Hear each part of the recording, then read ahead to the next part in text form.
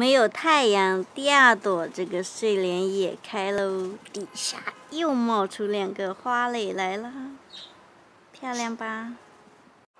这个蓝雪花已经开出四大朵来喽，大家看这种蓝色是不是非常非常的漂亮？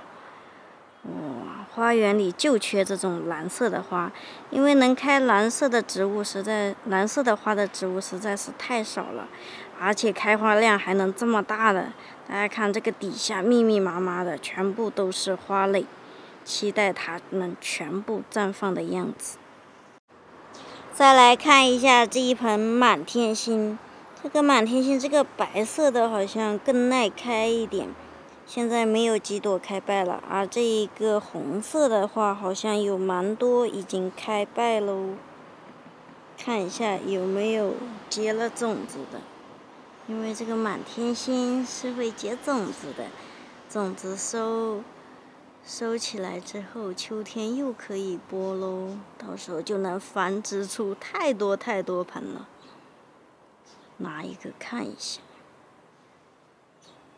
像这一种，看到吗？这个里面真的有种子哦，这是刚刚倒出来的。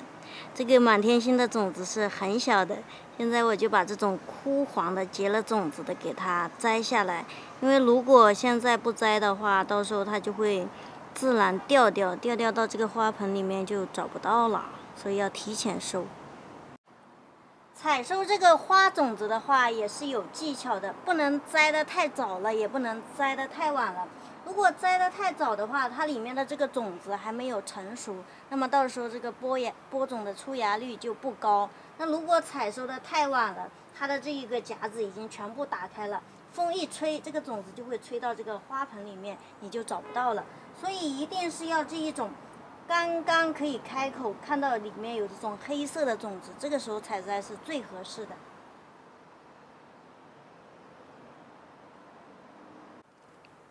看这一个夹子里面有这么多种子，